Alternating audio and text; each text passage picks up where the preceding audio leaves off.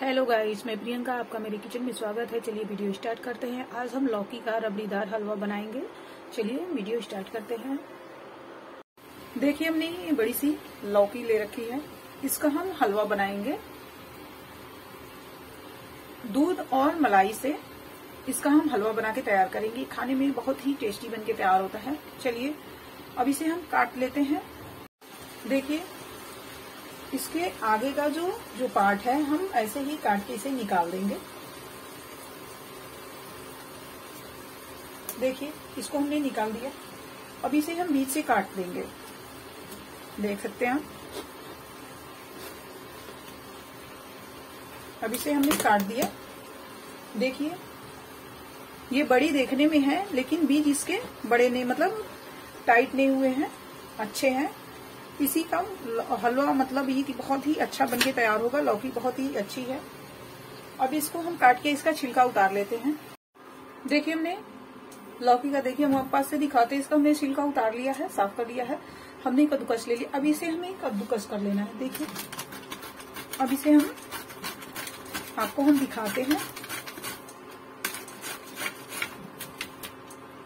जो भी बीज वगैरह निकल रहे हैं, उसे आप हम साइड में हटा देते हैं।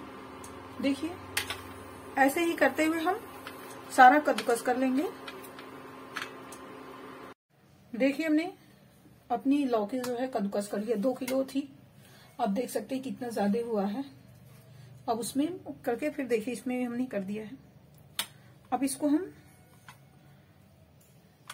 आगे की इसकी तैयारी करते हैं। देखिए हमने कढ़ाई ले रखी है। इसमें अपनी हम लौकी को डाल देते हैं। डाल के इसको हम चूल्हे पे रखेंगे।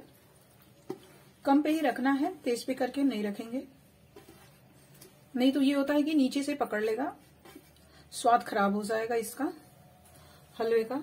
आप देख सकते हैं, हमने इसे कढ़ाई में डाल दिया। अब इसे हम चूल्हे पे रख देंगे।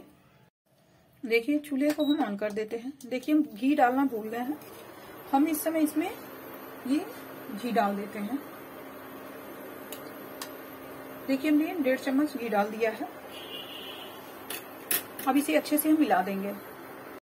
देखिए, इसे हम मिला देते हैं। अभी हम चीनी या मतलब मलाई को अभी हम नहीं डालेंगे, वो बाद में डालेंगे। चीनी डालने से ये होता है कि जल्दी गलता नहीं है।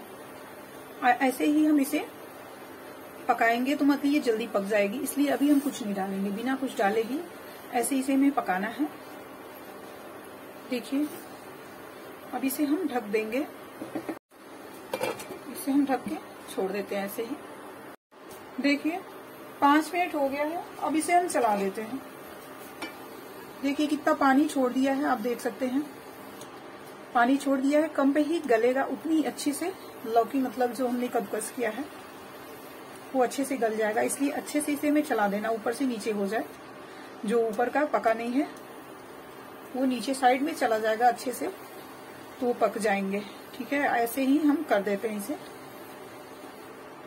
देखिए। फिर वापस हम ढक देते देखिए, पाँच मिनट हुआ, कैसे गल गया है? कितना पानी दिख रहा है, आप देख सकते हैं। यहाँ पानी देखिए देखिए कितना पानी छोड़ दी है गल के। अब इसे फिर से हम वापस ढक देते हैं। ऐसे ही ढक के हम कम पे इसे पकाएँगे। उतना ही अच्छा हलवा हमारा जो है बन के तैयार होगा। देखिए, केवल चीनी और मलाई से हम हलवा बना के तैयार करेंगे। देखिए, इसे हम चेक कर लेते हैं अपनी जो लौकी है हमारी। आधा घंटा ये हो गया। इसे पकते हुए आप देख सकते हैं ये कितना ज़्यादा ये गल के आधा हो गई है। पानी भी बहुत ज़्यादा इसमें था। हमने बीच में, बीच बीच में हमने चलाते हुए इसका पानी हम जला रहे हैं। देखिए, हमने इसका पानी निकाला नहीं है। देख सकते हैं आप, ये कितना बच गया है इसमें। और लौकी जो हमारी है, गल के आधी हो गई है। अब ऐसे ही अभी हम इसे पकाना है। समय लगता है क्योंकि दो किलो था इसलिए टाइम लग रहा है। देखिए फिर वापस हम इसे ढक देते देख सकते हैं आप ये आधा हो चुकी है गल के। पहले ये इतना भरा हुआ था। अब इसे फिर से हम वापस ढक देते हैं। ऐसे ही करके जब तक ये सूखा ना हो जाए ऐसे ही इसे हम पकाएँगे। ऐसे कर, करने से हलवा जो होता है बहुत ही अच्छा बन के तैयार होता है लौकी का। इसे फिर से हम वापस ढक देते हैं। चलिए इसे देख लेते हैं। देखिए, इसको पकते हुए 40 मिनट हो गए हैं। आप देख सकते हैं, इसमें हल्का हल्का सा पानी दिख रहा है। अब इस समय इसमें हम चीनी डाल देते हैं और दूध की मलाई डालेंगे। देखिए, हमने ये चीनी ले लिया। एक पाव हमने चीनी डाला है। अब ये वज़न में एक किलो है।